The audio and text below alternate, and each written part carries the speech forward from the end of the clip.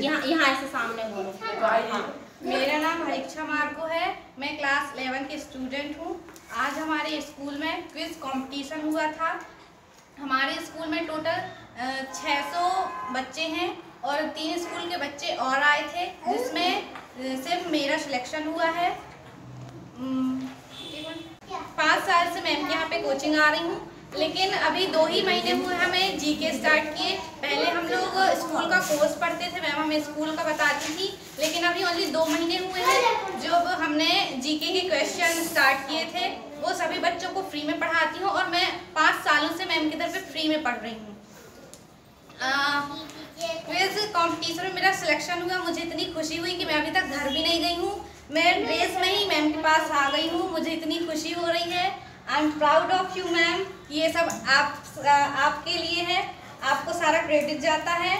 Thank you ma'am thank you हाँ और किस जिला स्तर में हुआ है ना? हाँ जिला स्तर में मेरा सिलेक्शन हुआ है।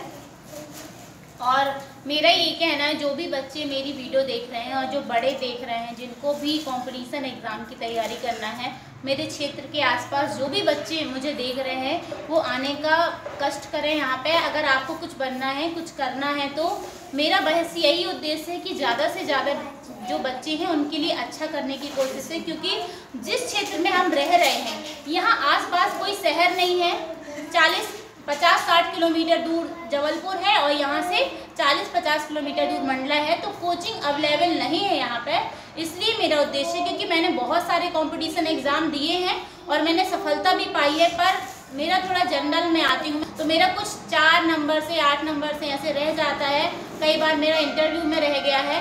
लोग बोलते हैं कि आपको सफलता क्यों नहीं मिली है, पर कुछ ना कुछ कमियाँ रहती। पर ये है कि जो मेरे फेलियर्स थे उसमें से मुझे ये समझ में आ गया है कि मुझे अब और क्या सुधार करना अभी मैं यूपीएससी की तैयारी कर रही हूँ और मेरा लास्ट अटैम्प्ट है।